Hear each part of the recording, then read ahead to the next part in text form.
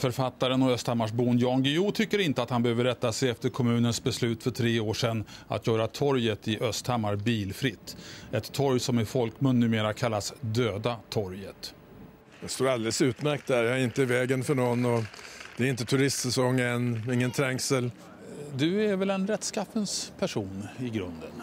Ja, det, och jag tycker att civila olydnadsaktioner mot uppenbart idiotiska beslut är ett eh, gott uttryck för demokrati.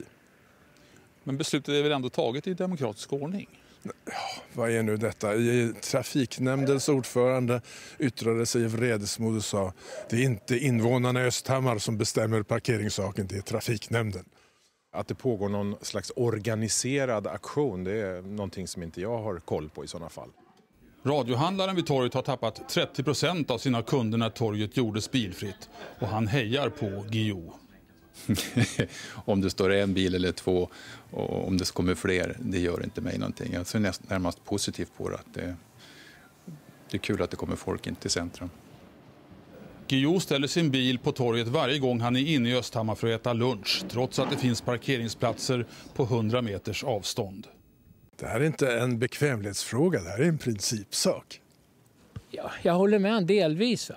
Men jag tycker kanske inte om att det är rätt att göra som man gör i alla fall. Va? Varför inte?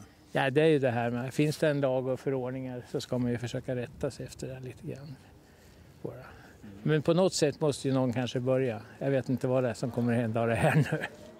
Östhammar har inga parkeringsvakter utan det är polisen som ett par gånger gett Guillou böter. Den enda som får parkeringslapp här är jag, inte de andra som, som står här dagligen.